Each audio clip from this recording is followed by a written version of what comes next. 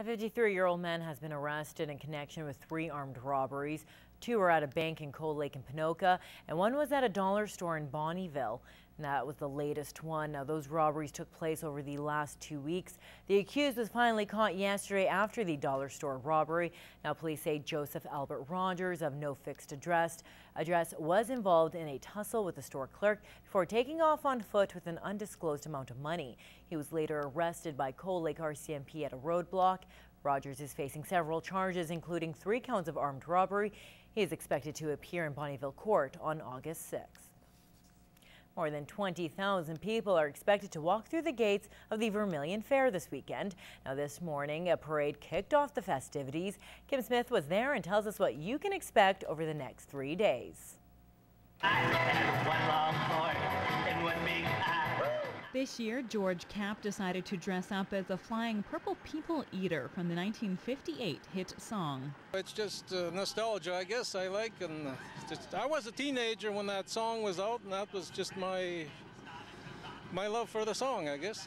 Families lined at the streets in Vermilion for the annual parade. I like uh, those little cars where the uh, the older people went in. They look so small in it. I like parade. I like the cute little ponies. How come? Because they're so little. Hi. Hi. Many floats this year paid tribute to Lakeland College's 100th anniversary. I had a chicken plucking class at Lakeland College, so we got some chickens and we are plucking them. yes. So 100 years at Lakeland College and the chicken plucking class. What's the theme this year of your float? Um, happy birthday, 100 years.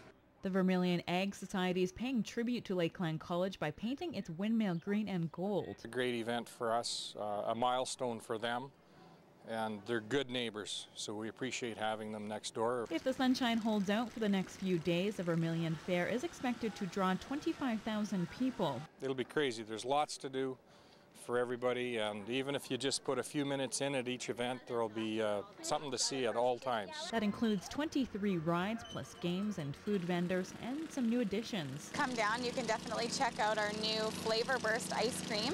There's multiple flavors, anything from cotton candy to uh, pistachio to raspberry. The family-run business West Coast Amusements arrived with more than 150 workers Monday to set up. So what you see here now is a product of a day and a half. Everybody is super excited to be here. We love the location. It's a beautiful fairgrounds. We're hoping for lots of sunshine. Last year we got rained out on the Saturday. The Vermilion Fair is on until Saturday. Kim Smith, Newcap News.